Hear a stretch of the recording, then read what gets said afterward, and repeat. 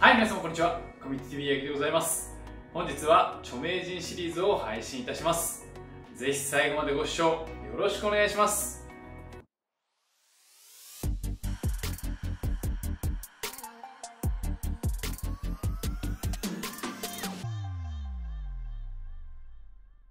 今回はデニムが似合う男性芸能人の腕元にフォーカス。デニム好きイコール自分のスタイルにこだわりを持った男らしい男性像を思い浮かべる人も少なくないかと思いますがデニムが似合う人はファッションはもちろん容姿生き方全部ひっくるめてかっこいい人が多いように感じます。そんなデニム好きの芸能人たちは一体どのような腕時計をつけているのでしょうか。ぜひ最後までお楽しみください。最初にご紹介するのは心地よいサウンドと優しい歌声で海へと誘うミュージシャン平井大さん。2011年にハワイ最大規模のイベントホノルルフェスティバルの公式イメージソングに抜擢され一躍注目を浴びその後逗子フェスやサンセットライブサマーソニックなどさまざまなフェスに出演し夏のイベントには欠かせないアーティストとなった平井さん。そんな海を感じさせてくれる平井さんが着用するモデルはロレックスデイトジャスト。リファレンス1601フルーテッドベゼルバーインデックスと基本的なデザインを確立した第3世代のロレックスデイトジャストです。アンティークデイトジャストの定番とされるこちらは現行のデイトジャストまで続く基本的なデザインが確立されたモデルです。搭載するキャリバー1570は耐久性と精度のバランスが良くロレックス傑作ムーブメントの一つに数えられています。機能と流行に左右されないデザインを兼ね備えクラシックウォッチの典型といえる一本ですね。ギターとサーフィンが趣味の父親の影響もあり幼少期から海に親しみがあった平井さん。そんなルーツもあり平井さんのスタイルを象徴するサーフカントリーなファッションにデニムは必須ですね。味出しされたデニムスタイルにヴィンテージロレックスがよくお似合いです。2人目にご紹介するのはコミット TV でもたびたび登場する木村拓哉さん。木村拓哉さんといえばデイトナのアイスブルーリファレンス116506や名作ドラマ「ラブジェネレーション」で着用したエクスプローラー1リファレンス14270などを過去にご紹介してきましたがデニムに似合うということでこのモデルも外せません。そのモデルはロレックス GMT マスターリファレンス16753激渋なチャツボダイヤルを搭載した第3世代のロレックス GMT マスターです。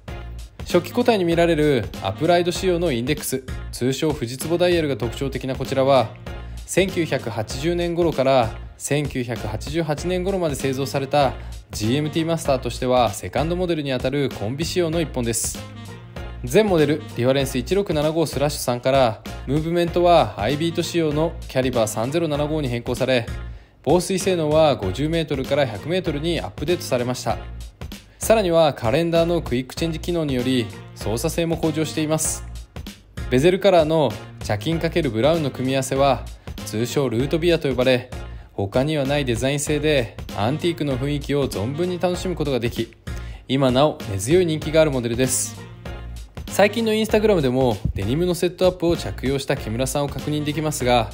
1998年に A 級ベストジーニストとして殿堂入りを果たし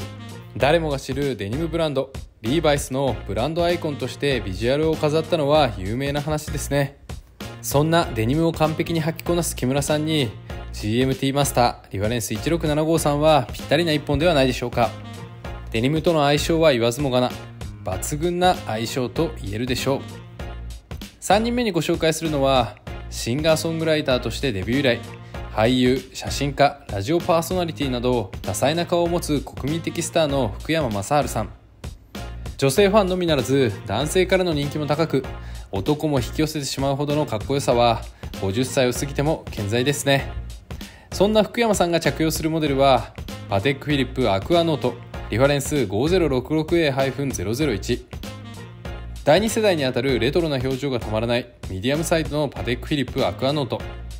短命に終わった初期モデルリファレンス5060に代わり1998年に登場したこちらは大きな文字盤デザインの変更はございませんがスケルトンバッグの採用により自動巻きムーブメントキャリバー 330SC の美しい動きをご覧いただけます。初期モデルと同じ KSK34mm のサイズ感は装着してみると非常に上品に見えます。福山さんのライブ衣装ではデニムスタイルが多く見受けられますが特に色気のあるデニムシャツの着こなしはまさに大人のデニムスタイルと言えるでしょう。そんなデニムシャツの袖からこのアクアノートが見えたらシンプルにかっこいいですね。大人のデニムスタイルにちょい足しする小物として時計選びは非常に重要な役割と言っても過言ではございません。最後にご紹介するのは貴重なデニムコレクションを所有し筋金入りのデニム愛好家でもある俳優の草薙剛さん。ベストジーニスト賞では木村拓哉さんの次に殿堂入りですがデニム好きといえば真っ先に思い浮かべる人も多いのではないでしょうか。バラエティ番組でもデニムを購入する姿を見せることがあるほか自身の YouTube チャンネルでも自慢の一本を何度も紹介しており中には1000万円を超える希少なヴィンテージも所有しているそうです。そんなヴィンテージのデニムをこよなく愛する草薙剛さんが着用するモデルはロレックスエクスプローラー1リファレンス 1016M 漆黒のミラーダイヤルが美しいロレックスエクスプローラー1です。こちらは1963年から1988年まで製造されたロングセラーモデルであり生産時期と搭載ムーブメントの違いによって初期前期後期に分けられ様々なマイナーチェンジが行われております。レアな仕様のものは高額で取引され特に初期型のミラーダイヤルは希少価値が高くヴィンテージロレックスの傑作として現在もデイリーユース可能な実用時計として人気を誇ります。ヴィンテージのデニムにはヴィンテージの時計を合わせる。そんな草薙さんのこだわりが伝わる一本ではないでしょうか。両者ともヴィンテージという魅力が詰まったロマンあふれる共通点を持った一品でありデニム好きヴィンテージ好きにはたまらない組み合わせですね。まとめとなります。豪華なラインナップでしたがいかがでしたでしょうか？デニム好きの芸能人と題してヴィンテージの腕時計を愛用している方々を今回はご紹介させていただきました。登場した著名人は冒頭に記した自分のスタイルにこだわりを持った男性像を持ち全部ひっくるめてかっこいいと言える共通点があったかと思います。ヴィンテージとは経年変化による唯一無二の答えともなりそれは世の男性陣の男心をくすぐる一品ばかりです。気になった方はまずはご自身の目で確認し触ってつけることが大切です。是非とも当店までお気軽に遊びにいらしてください。今回もこの動画がご自身のお気に入りの一本を選ぶ際の一助となりそして時計愛が増す一つのきっかけとなっていただければ幸いです。はい今回の内容はいかがでしたでしょうか？明日もぜひお楽しみにお待ちください。本日も最後までご視聴いただきありがとうございました。また皆様とお会いできることを楽しみにしております。ではまた。